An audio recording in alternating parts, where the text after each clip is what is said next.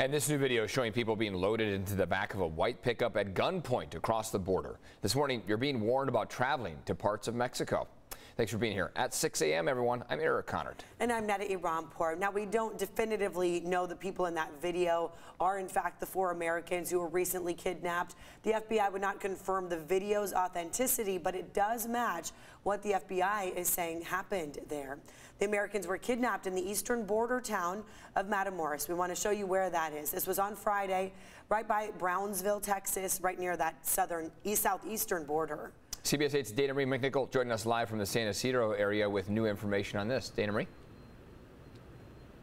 Well, good morning, Eric and Neda. We're now actually just learning the identities of those four Americans that were kidnapped. And I'm going to share with you right now. We have Latavia J. McGee, Shaeed Woodard, Eric James Williams, and Zindell Brown. We're also learning why they were making that trip into Mexico. It appears that they were going down there for medical reasons, a tummy tuck surgery, a cosmetic surgery. Now, Mexico's president actually told reporters he believes the Americans were caught in a crossfire between two violent groups that they were actually may have been targeted by mistake.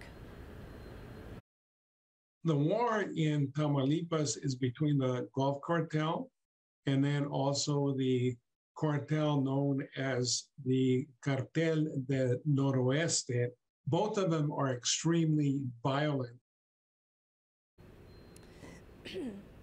now, that was Michael Vigil, a former chief of international operations with the DEA. He says you're basically playing with fire if you go into Mexico as an American citizen in this area.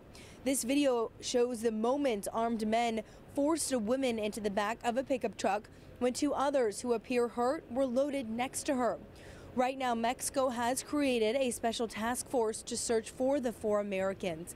The FBI says unidentified gunmen fired the group on that group shortly after they crossed the border driving this white minivan with North Carolina plates.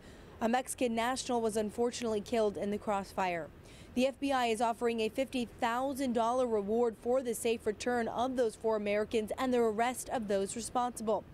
Matamoros is a hotbed for cartel violence and it's under a State Department level 4 do not travel advisory. That's the highest level warning. Now, Mexico does have multiple different levels of travel advisories. Tijuana, for example, is under a reconsider travel advisory due to crime and kidnapping in non-tourist areas. Officials say most homicides appear to be targeted here in Tijuana. However, one could be caught in the crossfire as a bystander. So if you're planning on traveling to Mexico, especially soon, as a spring breaker, please check online. Mexico has multiple different travel advisories for the different areas of Mexico where you could be traveling. So it's better safe than sorry going into uh, a vacation that could end up not the way that you expected. I'm Dana Marie McNichol coming to you live from San Ysidro.